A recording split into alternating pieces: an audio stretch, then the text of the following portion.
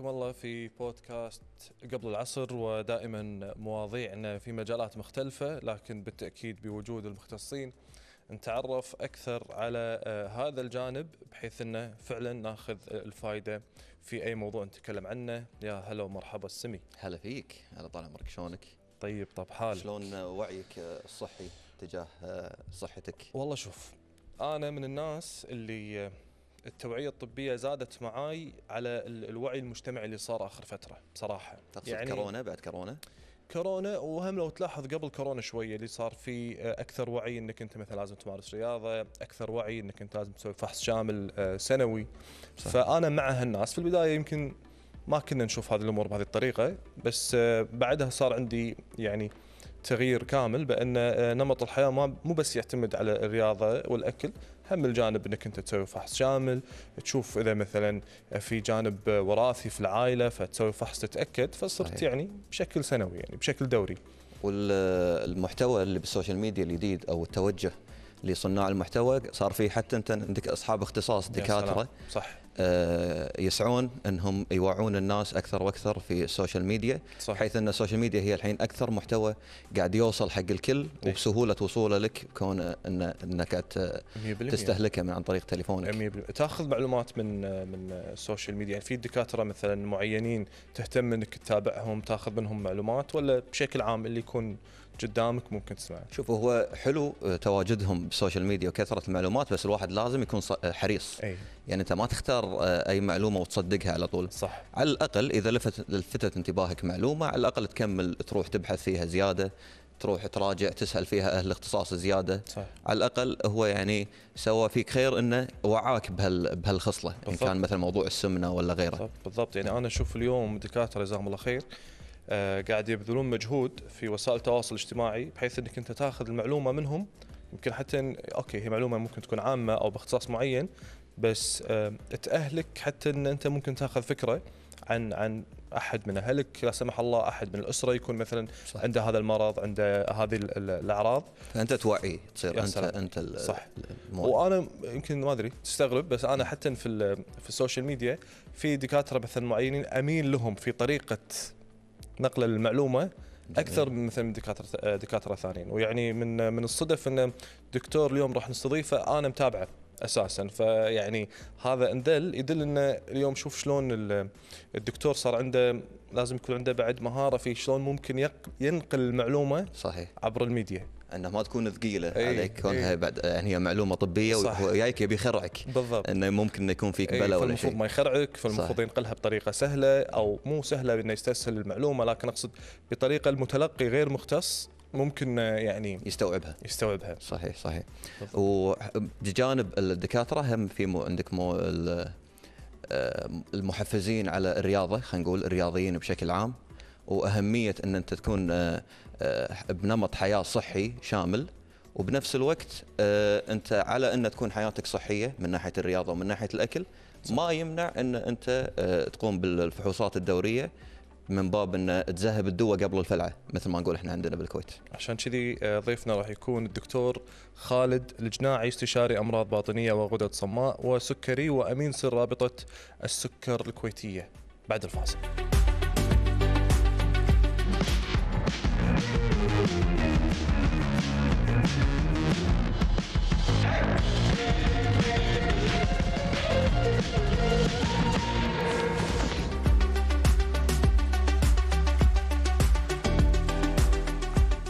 حياك الله دكتور خالد معنا في بودكاست قبل العصر.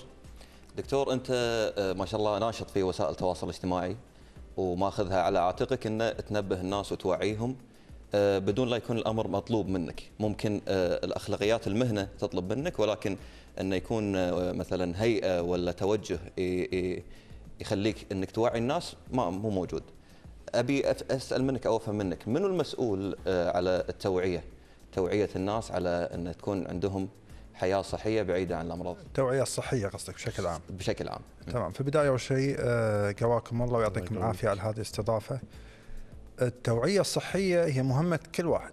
يعني مو مهمة الطبيب ولا مهمة آه، المنظمات الصحية هي التوعية الصحية مهمة كل واحد فينا تبتدي من البيت آه، من الأسرة إلى المدرسة إلى الطاقم الطبي زين إلى المجتمع بكبره. فالتوعية الصحية طبعا تقع على عاتق الجميع. مسؤوليتنا كلنا. إي الكل. طبعا الجانب الطبي أو المنظمات الصحية هم الأساس في هذا الشيء في توجيه التوعيات الصحية بس هي مهمة الجميع الكل.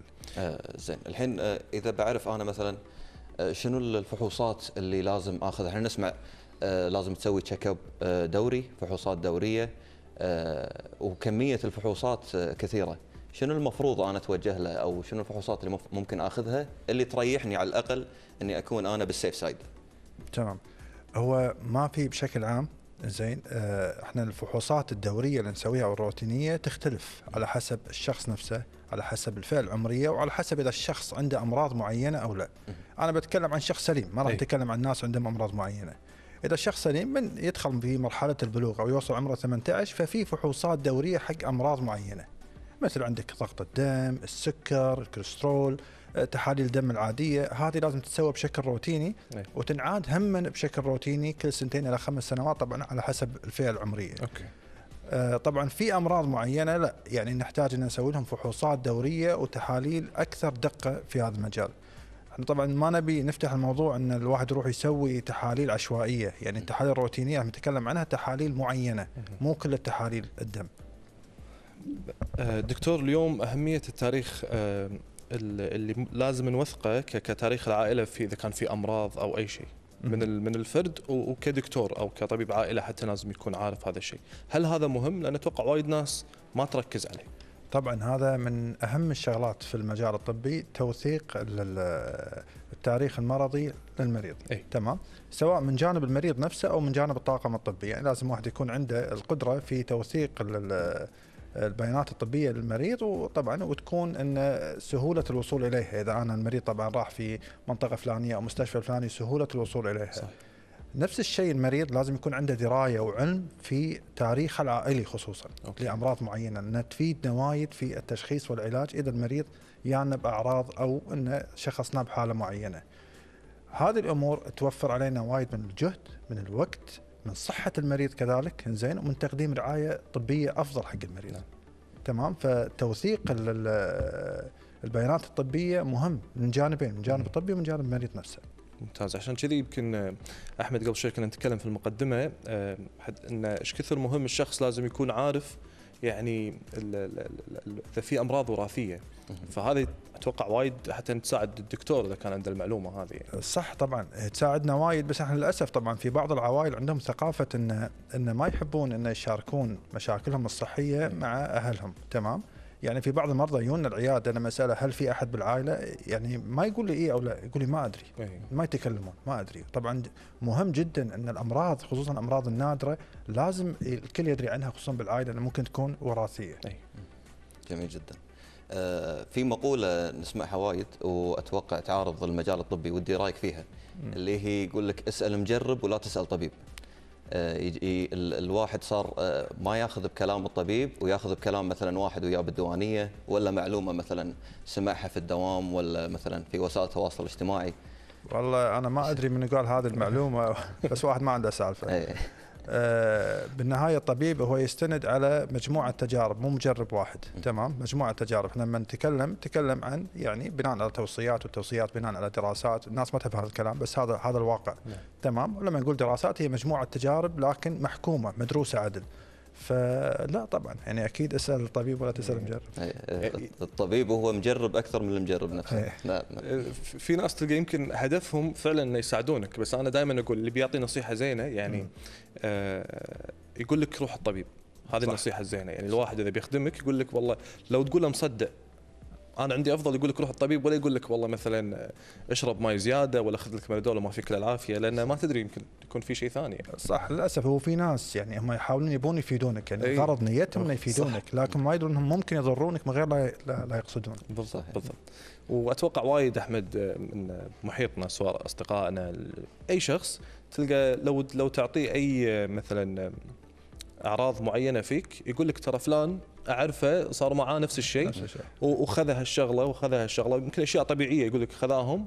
وصار زين وأنت تقعد أسبوع أسبوعين على هالموضوع هذا. ما أدري إذا صارت وياك أو في موقف إي لا التشخيص السريع هذا. إيه هذا وارد وارد التشخيص السريع. مصيبة. يشوف شنو فيك آه، مثلا آه، يحاول يبي يفيدك مثل ما أنتم ذكرتوا. آه، أنت الحين دكتور بالمستوى الشخصي ما شاء الله قاعد توعي الناس بالسوشيال ميديا. شنو ردة الفعل قاعد تشوف؟ هل قاعد تشوف في وعي قاعد يزيد؟ ولا مثلا على حسب ال comments اللي قاعد توصل لك إن الناس تحتاج وعي أكثر وأكثر في هذا المجال؟ هو التوعيه الصحيه لازم واحد يستثمر فيها طول الوقت، يعني ما في وقت راح يجينا نقول خلاص وعينا كفايه راح نوقف، م. تمام؟ وما بتكلم عن المستوى الشخصي أنا جزء من هذه التوعية الصحية. صح يعني صح. هو إحنا بشكل عام بالوقت اللي إحنا فيه الحين التوعية وايد أفضل من السابق.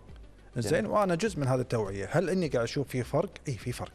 في فرق كبير لما نتكلم من عشر سنين وراء إلى الحين. وليش هذا الفرق موجود؟ بسبب طبعا قنوات التواصل الاجتماعي سهولة وصول المعلومة آه، ظهور المؤثرين الطبيين بشكل أكبر على الساحة. هذا كله يساعد إنه يخلي الوعي الصحي يصير أفضل آه، عندنا. تمام؟ لكن يعني بالجانب الآخر يعني أقلية ممكن خذوا هذا الوعي الصحي يعني إلى الإكستريم أو إلى حدود آه، إنه خلاص أنا صرت طبيب فما أحتاج إلى أحد ثاني وهذه المشكلة تصير لما الواحد يكون عنده يعني نص المعلومة ما عنده المعلومة كاملة فممكن يضر نفسه أو يضر اللي حوله آه، بالخطأ لكن يعني بشكل عام الوعي الصحي قاعد أشوفه أحسن من السابق بوايد مراحل. صح جميل جدا. هذا دور اليوم اللي كنا نتكلم عنه دور الدكتور بانه ينقل المعلومة بطريقة يفهمها المتلقي ما تكون وايد علمية كثر ما تكون هي وايد آه، آه، واضحة له. أي والتحاليل ذكرت أن اليوم في تحاليل ممكن تسويها بشكل دوري. آه، نسمع بعد عن تحاليل ثانية اللي هو تحليل مثلا بعض الأمور اللي ممكن تحصل أمراض معينة يقول لك هذه لازم تسويها مثلا سنويا وفي ناس تقول كل ستة أشهر. هي فعليا إيش كثر لازم تكون مدتها؟ هو ما في هو على حسب يعني المشكلة الصحية عند المريض. إذا إذا هو ما عنده مشكلة بس لازم يعني مثلا أنا أسوي سنويا. سنويا اي إذا أنت قاعد تتكلم عن تحليل السكر أي. تجس تحليل الكوليسترول تحليل الدم العادي فعلى حسب فئتك العمرية إذا واحد صغير بالعمر عمره 18 سنة فكل خمس سنوات ممكن يسوي التحاليل هذه. okay. لكن كل ما يكبر في العمر يتجاوز عمره ال 24 فتصير كل سنتين. فإحنا بشكل عام نقول يعني كل سنتين نسوي التحاليل إذا ما عنده مشاكل صحية. أيه. ساعات لا يكون مريض ما عنده مشاكل صحية لكن هو يعني يصنف كفئة خطورة عالية ممكن تصير عنده مشكلة صحية بسبب مثلا تاريخه العائلي. okay. فهذول ممكن يقولون ستة أشهر سنة فيختلف. صح. بشكل عام من سنتين إلى خمس سنوات للعامة. okay. جميل جدا. أه تزامنا مع الوعي اللي قاعد يصير في السوشيال ميديا قاعد يماشي أيضا أه, أه خلينا نقول تشتيت أو أه إشاعات طبية ممكن تودي الواحد ورا شمس. ومن ضمنها مثلا أيام الكورونا شفنا إن في ناس في توجه صار ناس مع التطعيم ناس ضد التطعيم. أه ودي أخذ رأيك بالتطعيمات بشكل عام. شنو مدى أهمية هذه التطعيمات؟ التطعيمات بشكل عام أكيد هي مهمة وهي أحد وسائل الوقاية. واحد من وسائل الوقاية من الأمراض هي التطعيمات تمام؟ والتطعيمات بشكل عام إحنا قاعد نتكلم عن قبل كورونا قضت على يعني وايد من الأمراض اللي كانت مسببة اوبئه بالسابق تقدر تذكر أمثلة حق الأمراض هذه؟ في الحصبة الألمانية في الجدري طبعا الجدري القديم مو الجدري الحالي هذه أمراض ما قمنا نسمع فيها مو موجودة هذه انتهت إيه. يعني الجدري انتهى تمام ففي أمراض انتهت وكانت تفتك بوايد من الناس آه الكوليرا وايد وايد أشياء وايد أشياء لها آه يعني الأمراض اللي, اللي كانت تنتشر كأوبئة فالتطعيمات واللي طبعا ما زالت موجودة هذه التطعيمات صحيح. مساعدة على ان مخليه الأعداد أقل مستوى ممكن أو حتى تقضي على هذه الأمراض. فهي مهمة وتشمل من ضمن الوقاية. طبعا إيه؟ واحد من أساليب الوقاية هي التطعيمات. ممتاز، إحنا أكيد راح نستمر بهذا الموضوع لكن هذا الفاصل وراجعين من بعدها.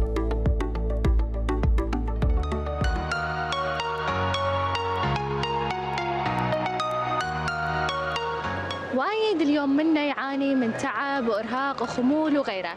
وما يدرون شنو أسباب هالتعب. هل هو تعب عادي؟ أم تعب فعلا يعاني من مرض. وايد مهم إن الإنسان يفحص نفسه كل ستة أشهر عشان نفسه وصحته. تعالوا خلينا نسمع الناس. كم مرة تروحين تسوين فحوصات حق آه، عند عند الدكتور؟ أه، مو مرة كثير بس إني أروح أسوي فحوصات. هل تحتفظ بهالفحوصات سواء فحوصات أو أشعة؟ إذا اوراق ما احتفظ فيهم بس برنامج سهل أحتفظ فيهم. يكونون موجود عندي بالتليفون فأدش واطالعهم كل فترة. كلش كثر تسوي فحوصات دورية. والله أمانة نادر أسوي فحوصات آه، دورية. آه، سويت واحد قبل ثلاثة أشهر. آه، ومن ذاك الوقت أمانة ما رديت سويت. تهتم بأنك تحتفظ بنسخة؟ إي نعم. لازم اهتم بنسخه عشان الفحوصات الجاية يبين مع الدكتور إيش اللي هو باين يعني عنده في شيء تحسن في شيء اسوء أو حاجة لا سمح الله. فأكيد المستشفى بيكون عندهم حل. مو تنسون روحكم وكل ست أشهر حاولوا تشيكون على نفسكم ترى أهم شيء الصحة.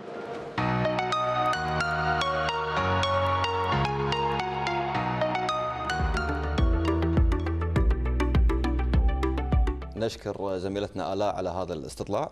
آه، دكتور إيش رأيك في ردود الناس الحين؟ ال- الشريحة البسيطة اللي غطيناها. هل تشوف الوعي ممتاز؟ يعني آه، شريحه صغيرة حيل بس يعني انه في في نسبة من الوعي. يعني في نسبة من الوعي إن عارفين شو اللي لهم شو اللي عليهم وإن إن في تحاليل دورية انه ممكن يسوونها ولازم يسوونها بين فترة والثانية. صحيح. دكتور آه، يمكن معلش. آسف. لا لا المايك عندك. تفضل. لا عفوا عليك. الدكتور بس قال نقطة مهمة وقت الاستطلاع إن الصغار ما له داعي يسوون فحص دوري. يعني اي إي. إلا يعني فحوصات دورية أو روتينية حق أعمار معينة فما له داعي أروح صغير وأغزز فيه في الابر مسكين صح. تمام؟ فالفحوصات الدورية يعني حق حق يعني المراهقين أو من بعد سن المراهقه من عمر 18 سنة. الصغار بس إذا كانوا يشتكون من أعراض معينة أو مستمرضين واحد يسوي لهم تحاليل غير كذي ما له داعي. جميل. الحين إحنا من الأشياء اللي نعاني منها بالكويت أو خلينا نقول من متصدرين فيها في آه، الشارت العالمي اللي السمنه صح. عندك. و وما أدري دكتور إيش برأيك شنو شنو السبب الرئيسي اللي اللي خلانا نتصدر بالسمنة والسكر؟ والله إحنا طبعا السمنة عندنا بالكويت أو نسبة السمنة والوزن الزايد بالكويت أعلى من 50% تمام؟ حسب يعني أرقام المنظمات العالمية. أكثر من نص الشعب. من نص الشعب. طبعا ما نقول سمنة. سمنة أو وزن زايد. إنه يكون وزنهم فوق المعدل الطبيعي. ولهذا السبب هم نلقى إحنا طبعا موضوع إن هم نسبة السكر نسبة كبيرة تتجاوز حتى 30% إحنا قاعد نتكلم عن حالات المشخصة وفي حالات غير مشخصة. يعني في حالات عندهم سكر أو قابلية سكر بس هم ما يدرون. فالسبب الرئيسي طبعا حياة يعني نمط الحياة اللي عايشينه. تمام؟ آه، قلة آه، نوعية الأكل اللي يستهلكونها بشكل يومي آه، طبعا في أمور ثانية مثل التدخين آه، وممارسة الرياضه قلة ممارسة الرياضه هذه كلها أمور تنعكس على الجانب الصحي فتؤدي إلى زيادة من موضوع السمنة وكذلك موضوع السكر النوع الثاني. جميل تأييدا لكلامك دكتور إحنا نلاحظ أن أغلب اللي يعانون من السمنة يتجه ناحية أن الحلول السريعة. خلينا نقول لنزول الوزن من ضمنها مثلا آه، عمليات آه، قص المعدة مثلا أو ممكن ياخذ له آه، شغلات وهمية حبوب وغيرها توهمه إنه ممكن إنه يوصل هالنتيجة.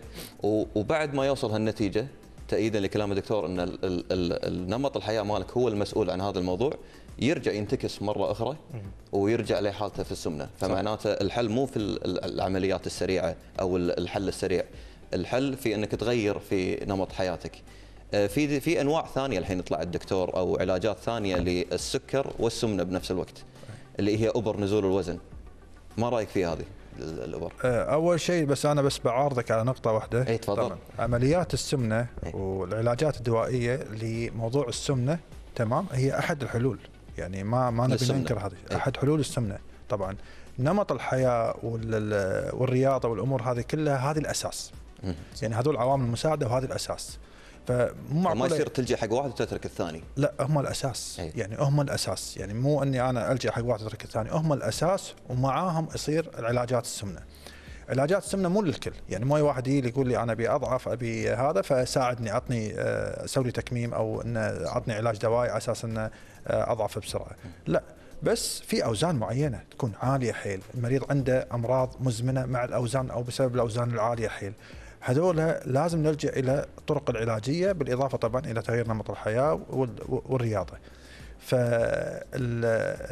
وفي فرق ما بين إن أنا أعطي المريض علاج للسمنة وأعطيه علاج لنزول الوزن.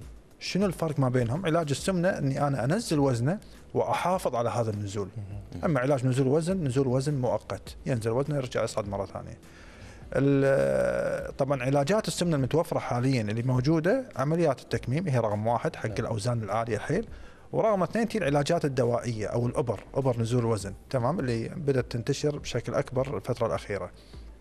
ال- آه، للأسف إحنا طبعا في الوقت الحالي الكل صار موضوع هبة. يعني ابى أنزل لي كم كيلو خليني أروح أطق لي. اي يختصر الطريق. أي. وهو ما في اختصار حق الطريق. يعني نرجع نقول الرياضة والتغذية هم الأساس. ومعاهم تصير علاجات دوائية إذا احتاج المريض.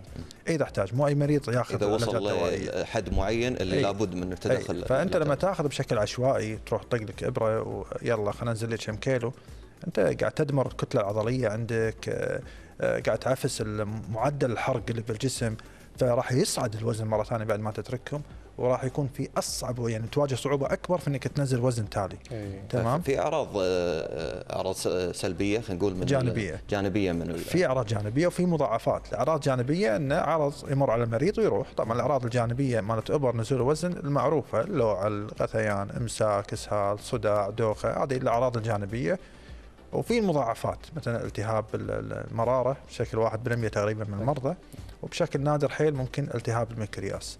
ومو أي مريض ممكن يستخدم هذه الإبر، يعني في ناس ما يصير نعطيهم الإبر، واحدة حامل، واحدة ترضع مرض ترضع، واحد عنده تاريخ عائلي بأورام نادرة بالغدة الدرقية أورام غير حميدة. هذول ما يصلح إنه يأخذون. إي. تمام؟ آه الإبر.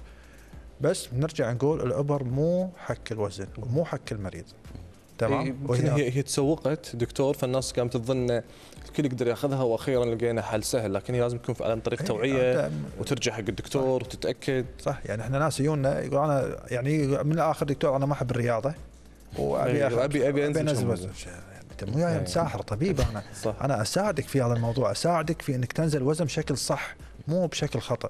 فاستخدامها بطريقة غير منطقية وغير صحيحة ممكن تعطيك نتائج عكسية. أوه. وزين إحنا اليوم على السمنة إحنا عندنا وعي يعني المفروض إن في توعية وفي ناس قامت تسوي حملات للرياضة ونزول وزن لكن للحين إحنا متصدرين آه، نسبة السمنة. هل المشكلة جزء منها الأهل في طريقة تأسيس عيالهم في نمط حياة ال- الاكل والأمور هذه؟ والله بكل شيء بكل شيء. موضوع السمنة بالكويت بكل شيء. انت الحين مثلا على سبيل المثال يعني تطلع من البيت هل قدام بيتك في مساحة لو صغيرة تقدر تمشي فيها؟ تمام ما في. يعني إحنا مناطقنا حتى المناطق السكنية مو مهيئه أصلا إنك تمشي تقدر تمشي بين البيوت. صح. بتمشي لازم بتدش لك بالشارع وترد تصعد الرصيف تردش بالشارع تصعد بالرصيف. صح في ممشى حاطين لك إياه لكن واحد ساعات يعني يعني ما أقول لك تكيس اللي تعيز يروح الممشى الفلاني أو على مسافة من بيته. فاحنا ال- ال- ال- ال- البنية التحتية حق المناطق السكنية أساسا ما. تشجع على موضوع حتى الحركة والرياضة. آه، ني شغلة ثانية طبعا هم جونا الحار هم نخلي الواحد هذا يعني ما ما يبي يطلع. صح. يعني يجيني مريض أقول ليش ما تتحرك تسوي رياضة؟ والله حر. وبالشتاء والله برد. إيه، ماكو فايدة. فان نحكر بأسبوعين ثلاثة بس بالسنة يقدر يسوي فيها رياضة أو يم- يمشي فيها. وطبعا طبعا موضوع الأكل يعني الأكل ال- ال- آه، نوعية الأكل آه، ومصانع التغذية الموجودة حاليا. ما أبي أقول نص الأكل بس أغلب الأكل اللي موجود سواء بالجمعيات أو بالأسواق أو هذا أكل سيء. أكل سيء من كل النواحي. آه.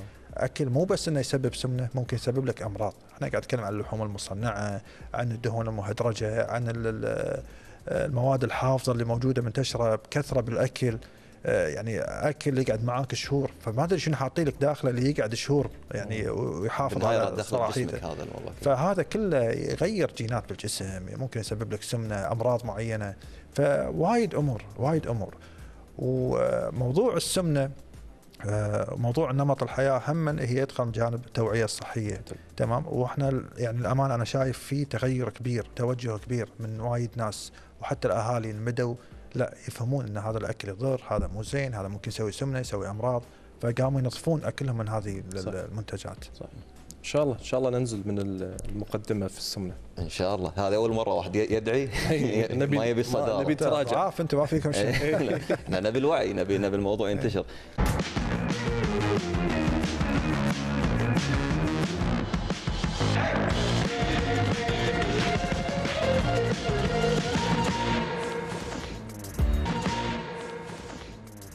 يعني آه، من الأشياء اللي لاحظتها على نفسي مثلا موضوع آه، آه، في أمر شخصي في موضوع الرياضة إن الرياضة أنت مو بس عشان تحافظ على جسمك إيه. وشكلك حتى صحتك النفسية صح. المزاج يتعدل بالرياضة كونك انت قاعد تطلع وتتحرك تحرك جسمك قاعد تحطه في المكان اللي متعود عليه. مو متعود آه، اجسامنا آه، مو متعوده على الحكرة والقعده بمكان واحد. فتأييدا لكلامك إنه ما في عندنا أماكن نتحرك فيها وكذي هذا صح. أي والرياضة. طبعا مو حكر على ناس معينة. يعني في ناس يعني إحنا طبعا موضوع التوعية لازم هم نفتحه لما أشوف المرضى بالعيادة. لازم أذكر جانب الرياضة وال ففي بعض المرضى يكونون يعني أجسامهم مثالية أو وزنهم مثالي. تسوي رياضة؟ ما أحتاج يقول لي. ما تحتاج. لأن وزنه مثالي فما يحتاج إنه يسوي رياضة وهذا خطأ. طبعا الرياضه هي غير إن طبعا عشان موضوعنا واحد يحافظ على وزنه الجانب الأهم الصحة صح. الصحة. واليوم ال- في ناس مع وسائل التواصل الاجتماعي وكذي يحلم بأنه ينزل وزن بسهولة. فمثل ما ذكرت ممكن بعض العلاجات أو مو علاجات الأبر والأمور هذه ممكن تنزل عضل. صح يعني مو بس إنه ينزل دهون أو أو أي طبعا وزن. إذا إذا نفترض أن شخص بدأ يستخدمها أي. زين وما يسوي رياضة وإحنا بنتكلم عن رياضة مو أي رياضة رياضة مقاومة رياضة أي. تحاول تحافظ فيها على العضل وما قاعد يأخذ كفايته من البروتين بشكل يومي ممكن يفقد كمية عضل كبيرة okay. زين آه، ممكن عادي إذا كان وزنه أساسا مو مرتفع وايد عادي نص اللي ينزله عبارة عن عضل 50 50% 50 دهون 50 عضل. okay. بالنهاية الجسم ما يتعامل مع العضل كعضل يتعامل معه كبروتين مصدر طاقة. دهون بروتين. وقت ما أنت دخلت في مرحلة تجويع خلاص راح يحرق هذا أو هذا اللي موجود قدام. وهذه النتيجة يمكن في وايد ناس ما تبيها يعني في وايد ناس ما تبي تنزل عضل لأن العضل صح. العضلة هم بالنهاية هي يعني مصدر كبير حق الحرق بالجسم. وإذا ما خاب ظني إذا نزل العضل ينزل ال- الحرق. فبالتالي أنت معرض نفسك إنه يزيد وزنك أكثر وأكثر إذا أنت يعني اي راح يرجع صح يصعد الوزن مرة ثانية ونزوله يصير أصعب من قبل. ما نشوف هالفترة وايد أنظمة غذائية وأسماء جديدة. يعني أي. كل فترة نشوف اسم جديد. مهم. ويتسوق لأن هذا ال- النظام الغذائي هو اللي راح يكون أحسن هالفترة. صحيح. كيتو آه ال ال ال وغيره من المسميات. فالناس تقول لك الحين شنو الأنسب لي؟ شلون أعرف إن أنا هذا النظام الغذائي هو اللي راح يخليني أضعف من غير ما أخذ أبر وغيره؟ تمام. يعني هو يعني الامانه أنا مو أخصائي تغذية أو طبيب تغذية لكن بتكلم لك بشكل عام. أفضل نظام غذائي لنزول الوزن هو النظام المتحكم بالسعرات الحرارية. تمام؟ فقط لا غير إنك يعني تنزل سعرات حرارية على حسب معدل حرق جسمك زين؟ ويكون البروتين نوعا ما محافظ عليه أو يكون في معدل شوية عالي. الأنظمة الثانية ما لها أي إثبات علمي إنهم مناسبين كعلاج للسمنة. تو قلت لك أنا في فرق أيوة. بين إن أنا أعطي شيء ينزل وزن وأعطي شيء يعالج السمنة. okay. زين؟ فالنزول المؤقت ما يفيدني. تسوي كيتو. طبعا حتى الكيتو يعني ما قاعد يطبق بالطريقة الصحيحة. الكيتو حتى في تحاليل ترى راح نسوي حق نظام الكيتو. أي. تحاليل تكرم قبول قبل وبعد أساس ان نشوف معدل الحموضه فما يطبق بشكل الصيام متقطع والصيام العكسي وغيره من ال- الأنظمة الغذائية آه، اللي ما نقدر حتى نعيش عليها فترة طويلة. يعني انت تسويها فترة معينة وتغير. تمام؟ فساعات يلجؤون لها بعض أخصائيين تغذية بس لازم واحد يتابع معاهم على أساس إنه يغير لك من نظام إلى نظام آه، على أساس تحافظ على النزول في الوزن. آه، بالنهاية هذه الأنظمة هم ما تعتبر يعني علميا لها فائده على المدى البعيد من ناحية المحافظة على نزول الوزن. جميل جدا آه، دكتور ودنا نستغل وجودك معنا وكوننا إحنا بشهر عشرة شهر التوعية لسرطان الثدي ودنا نسمع منك كلمة توعية للمشاهدين. إي طبعا. الحين يعني أنتم عارفين شهر 10 هو شهر التوعية في بسرطان الثدي. والفحص المبكر نرجع ونقول واحد من أساليب الوقاية آه، القوية آه، خصوصا سرطان الثدي. فلما الواحد يكشف أو يكتشف سرطان الثدي في وقت مبكر فنسبة العلاج قد تصل إلى 99% آه، بالمية. فلازم نحرص يعني أخواتنا الحريم والبنات انه يكون في آه، الفحص الدوري للثدي على أساس انتفاده سرطان الثدي إن شاء الله أو يعني لا سمح الله إذا كان في نكتشفه بوقت مبكر. آه، في في في مؤشرات ممكن إن آه، توعيني إن لا أنا لابد إني أفحص إحنا نشمل الكل بالفحص ولكن نبي المؤشرات اللي خلاص يعني ما فيها روح تعال لازم أروح تاريخ أفحص. عائلي. تاريخ عائلي بسرطان تاريخ عائلي. إذا في أحد بالعائلة إيه، في تاريخ عائلي بسرطان الثدي هذه أهم نقطة تمام آه، ومثل ما ذكرنا الوقاية خير من العلاج الناس تروح وتفحص. شلون نعود الناس إنه ممكن يزور الدكتور آه، أو تكون في ثقافة أوكي أنا ما أحس في أعراض معينة بس أبي أسوي مثل ما قلنا فحص دوري أو إن عندي ثقافة انه والله اي اكتشفت انه في مرض عائلي معين فأروح حق الدكتور واناقشه، شلون ننقل الناس إلى هذه المرحلة من الوعي انه مو لازم تكون تعبان عشان تروح حق الدكتور. آه، طبعا يعني الناس لازم تفهم في أمور معينة. يعني أنا لما أكتشف على سبيل المثال مرض السكري. نعم. لما أكتشف مرض السكري بفحص مبكر زين أنا قاعد أتفادى وايد مشاكل. السكري النوع الثاني ممكن يعيش بجسمك سنين. يا لا تكتشفه أو يا الله يسبب لك أعراض. نعم. تمام؟ فأنا ما أنطر أمراض معينة. لما تسبب لي أعراض على أساس إني أروح أكشف عنها. لأن لما توصل لمرحلة الأعراض ممكن هم سببت لي مضاعفات أو مشاكل ثانية على الجسم. فراح نتفادى بشكل كبير هذا الشيء والفحص الدوري أو الفحص الروتيني أو آه، يعني آه، امره بسيط يعني نعم. مو إنه شيء صعب حتى لو الطبيب المريض مو عارف هل يحتاج يسوي فحص ما يحتاج يسوي فحص يروح يناقش طبيب طبيب العائلة يروح يناقش أنا عندي كذا كذا أو سمعت إن واحد بالعائلة عندنا عنده كذا كذا كذا إيش رأيك؟ هل في فحوصات أسويها معينة؟ هل لازم أقلق؟ هل لازم أزور طبيب معين؟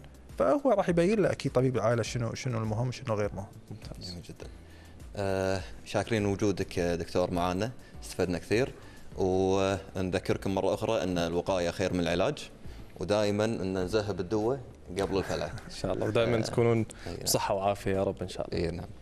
آه شاكرين. وجودكم. آه هذه كانت حلقتنا اليوم ونشوفكم يوميا. حزتنا متى سمي؟ قبل العصر. قبل العصر.